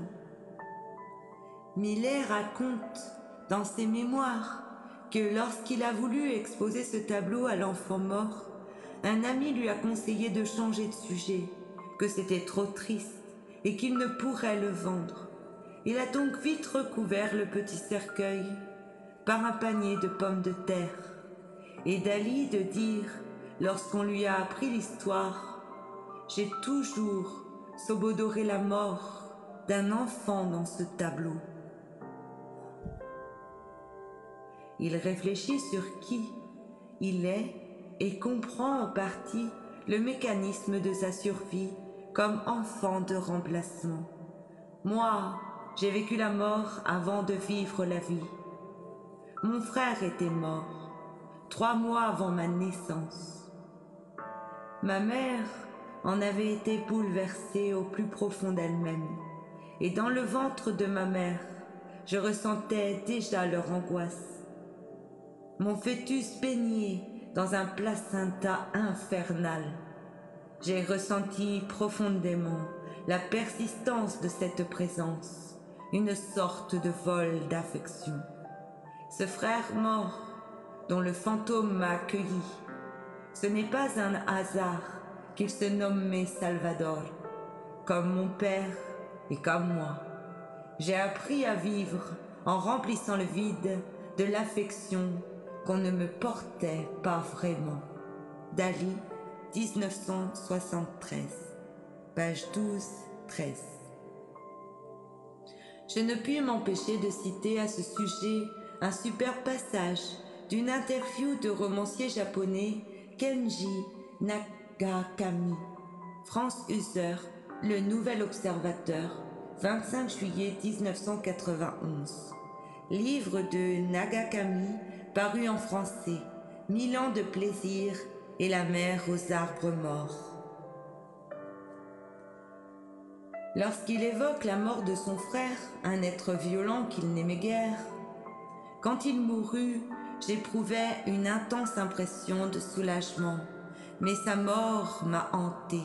Elle revient sans cesse dans mes romans, en même temps que ma culpabilité pour cette joie que j'ai ressentie alors. Longtemps j'ai cru que je mourrais quand j'attendrai 24 ans, l'âge auquel mon frère s'est tué. Cette date approchait, mais mon fils est né. Il prenait la place de mon frère mort. J'ai su alors que je ne mourrais pas.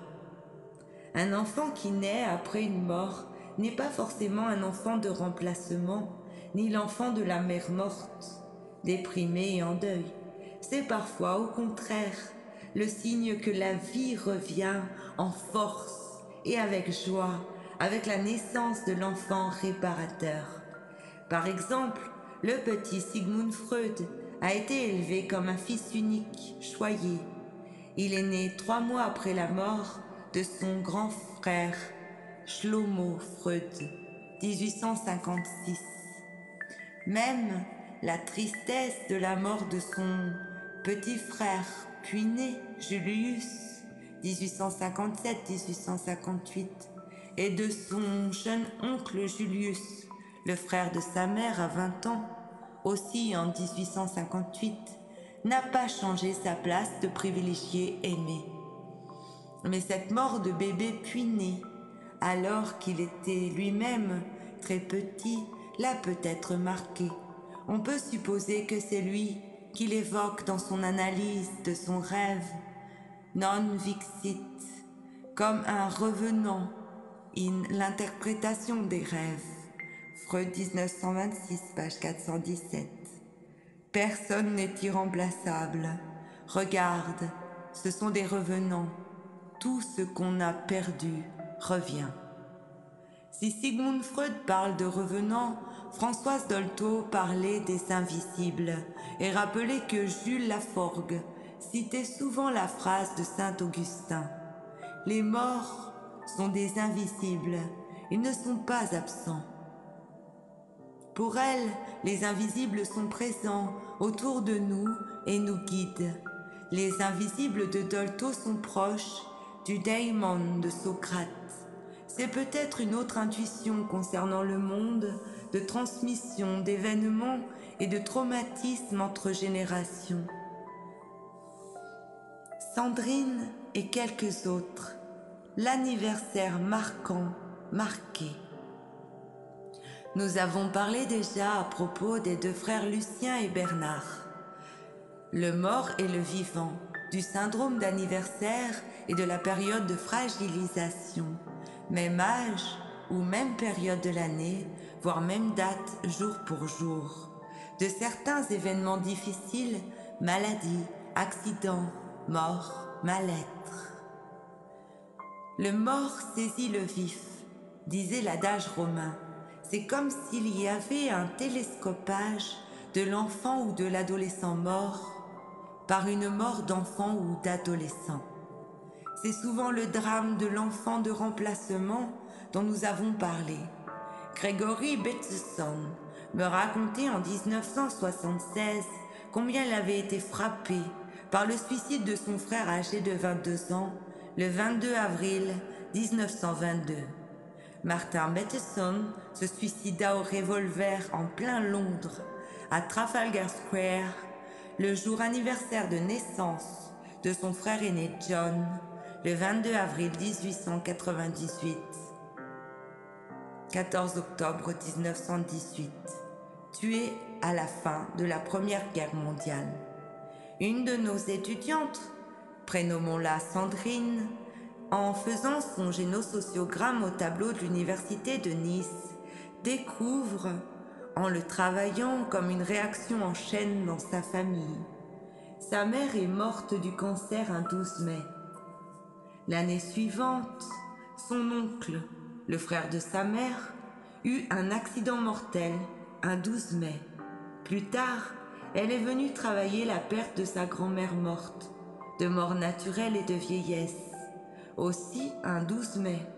En triant les papiers de famille, elle découvrit que son grand-père était mort d'accident un 12 mai et que son grand-oncle et parrain du grand-père avait été tué à la guerre un 12 mai. Elle-même se sentait mal au printemps, respirait avec difficulté et devait être opérée un 12 mai, date fixée par hasard par le chirurgien. Mais trop, c'était trop pour elle, et après notre entretien, on repoussa la date de l'opération qui réussit.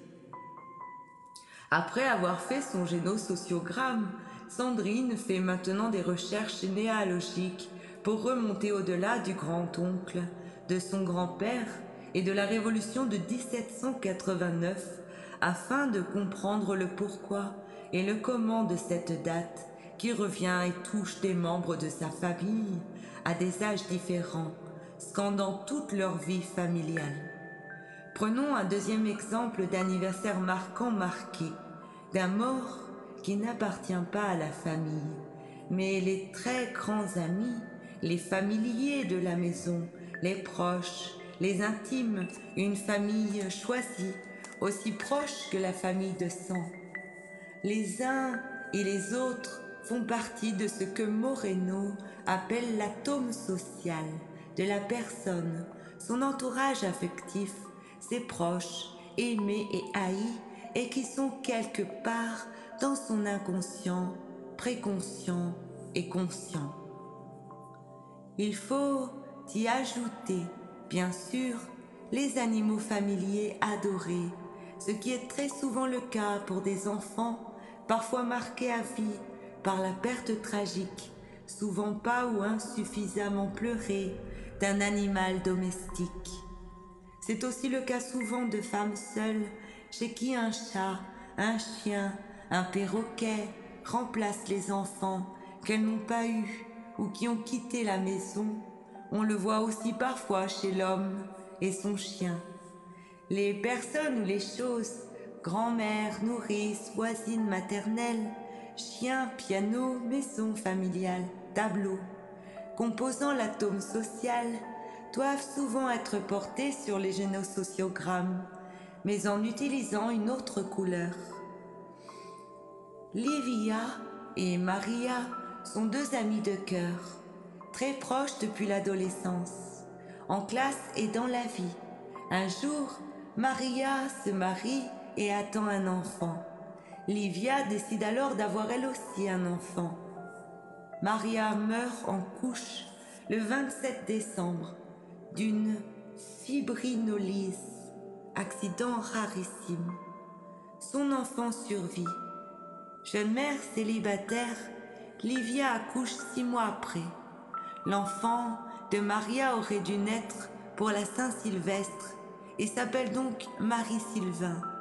Celui de Livia, Sylvain Marie. Sans parler de prédiction, il faut rappeler que Maria avait dit que l'enfant qu'elle portait était un cafard et n'apporterait que tristesse et problèmes. Dix ans après, on découvre un 27 décembre que Livia a un cancer et on opère illico. Depuis, elle va bien.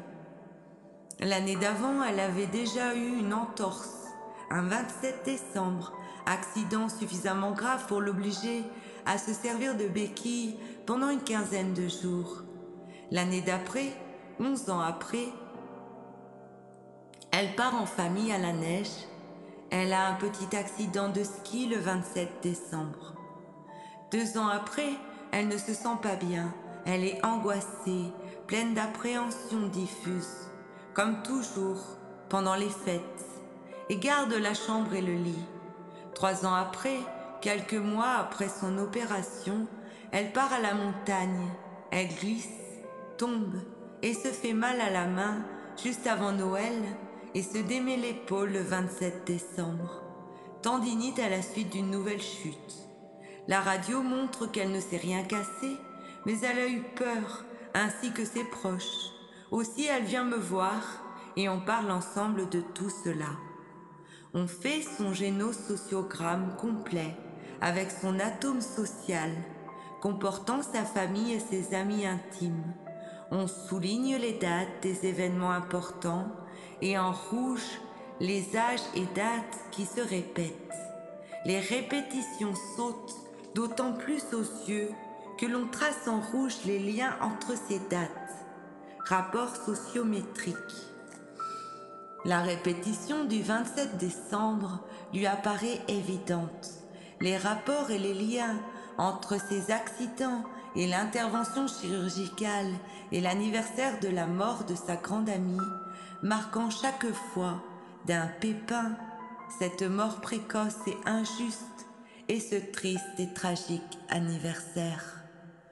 Nous espérons qu'après ce travail de mise en évidence de la marque de l'anniversaire, Livia n'aura plus d'accident le 27 décembre et pourra peut-être enterrer réellement son amie morte et finir son deuil, qu'elle aura donc parlé et non seulement pleuré et agi, d'autant plus qu'à l'époque elle n'avait personne à qui en parler.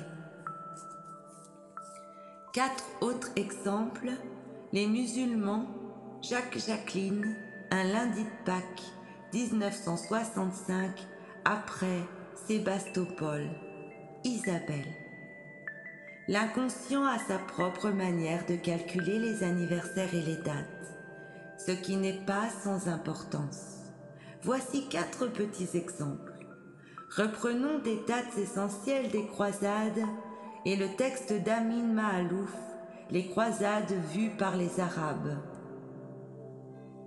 C'est le vendredi 17 juin 1291 que disposant d'une supériorité militaire écrasante, l'armée musulmane pénètre enfin de force dans la cité d'Acre, assiégée. Le roi Henri se réfugie à Chypre. Les autres franches sont tous capturés et tués. La ville est entièrement rasée. La ville d'Acre avait été reconquise, précise Aboul Fida, à midi le 17e jour du second mois de Jumada de l'année 690 de l'Égypte. Or, c'est très exactement le même jour, à la même heure, en l'an 587, que les Franches avaient pris Acre à Salahdin, capturant puis massacrant tous les musulmans qui s'y trouvaient. N'y a-t-il pas là une curieuse coïncidence? Selon le calendrier chrétien, cette coïncidence n'est pas moins étonnante, puisque la victoire des Franches à Acre avait eu lieu en 1191, cent ans presque jour pour jour avant leur défaite finale. Ce fut la fin de l'occupation par les croisés de l'Égypte, de la Syrie, de la Palestine. Mais ce règlement de compte n'est pas terminé. Huit siècles plus tard, le 13 mai 1981, à Rome, Ali Aqsa, musulman, tire sur le pape Jean-Paul II et blesse le chef de l'Église et responsable des croisades. Ce ne serait qu'une vue simpliste que de ne parler à ce sujet que de l'acte d'un musulman illuminé. En fait, malgré les siècles écoulés, on n'a pas effacé l'ardoise. Les musulmans parlent encore de génocide. Françoise Dolto-Maret relate dans son ouvrage de souvenirs autoportrait d'une psychanalyste que sa sœur Jacqueline est née quasi jour pour jour à la date anniversaire de la mort de son petit frère Jacques, Jacqueline, prénommée comme son frère en l'honneur de Saint Jacques. Jacqueline mourra elle aussi jeune, Dolto 1989. Un lundi de Pâques 1965, après une mort accidentelle à Sébastopol 1855. Notre petit voisin Michel a été tué dans un accident de vélo le lundi de Pâques en se rendant à l'église de son village. En recherchant avec sa famille des événements répétitifs, nous avons vu que son grand-père avait été blessé au cours d'un accident au printemps à une date différente. Mais en vérifiant dans un calendrier à correspondance portant les dates et les fêtes mobiles, nous avons découvert que c'était le lendemain de Pâques. En remontant plus haut dans l'histoire de sa famille, nous avons vu que son arrière-grand-père avait été impliqué dans un procès pour homicide involontaire, pour avoir tué un cycliste qui n'avait pas respecté un stop et s'était jeté contre sa voiture. L'arrière-grand-père a été acquitté. En vérifiant la date, le jour et les fêtes mobiles, il est apparu que l'accident est arrivé un lundi de Pâques. En remontant plus haut, on a trouvé un ancêtre artilleur qui, à la bataille de Sébastopol, a involontairement causé la mort accidentelle d'un canonnier ayant mal entendu les ordres. 21. Bien des choses intéressantes seraient à noter à propos de la bataille de Sébastopol du 27 mars 1857, septembre 1855.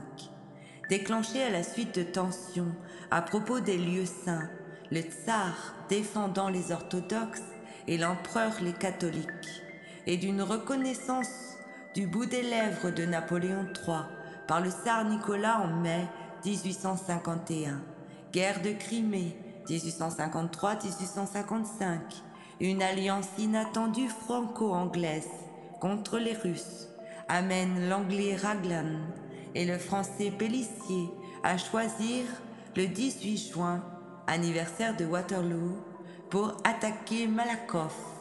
Et ce sera une tragique défaite, à la suite de laquelle Wegland mourra du choléra le 28 juin et Pellissier prendra Malakoff le 8 septembre 1855, ce qui amènera la paix, la vis 1989, Histoire générale. Dans ma propre famille, ma fille et ses enfants sont tous nés en octobre, comme son père, sauf sa fille aînée, née par hasard à la mi-janvier. En recherchant les vraies dates de la naissance de Moreno pour un de mes livres, j'ai été confrontée au changement de date d'événements de vie liés aux différences de calendrier ancien style et nouveau style après le rattrapage relativement récent des dates de notre calendrier grégorien, rattrapant le décalage lunaire. En Europe centrale et orientale, CF note 48 page 50. 1917 seulement en URSS. Je me suis alors rappelé que nous fêtions l'anniversaire de ma mère, Isabelle, le 25 janvier, mais qu'à la fin de sa vie, elle nous reprochait, le 13 janvier, de l'avoir oublié. Née à Moscou un 13 janvier ancien style, mais élevée à Montreux, en Suisse, sa date de naissance avait changé et avait été rattrapée au 25 janvier. En fin de vie, elle confondait les deux. Or, elle était née dans la nuit du 13 au 14 janvier 1892, peu avant minuit, le 13 pour l'état civil, alors que sa mère, ma grand-mère, dansait au bal de la Sainte Tatiana, patronne de Moscou, et ma première petite fille est née, à quelques petites heures près, à la même date, peu après minuit dans la nuit du 14 au 15 janvier, le 15 pour l'état civil. Elle s'appelle Aude Isabelle, et ma fille ne connaît pas ces histoires de calendrier corrigé.